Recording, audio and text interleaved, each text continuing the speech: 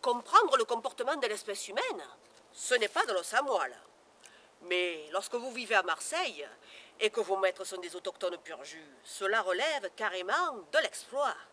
En effet, il semblerait que les lois de la nature en vigueur sur l'ensemble du territoire national ne s'appliquent pas ici.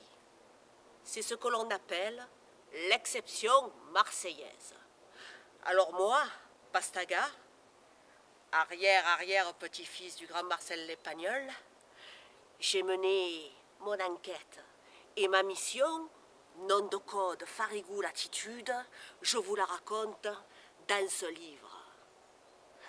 Malheureusement, même pour votre serviteur, le mystère reste aussi épais qu'un aioli du vendredi. Ah, ça vous fait rire. Eh bien, je vous raconte plus rien. Vous voulez savoir quelque chose Vous lisez le livre. Eh oui, c'est susceptible, un caniche espagnol.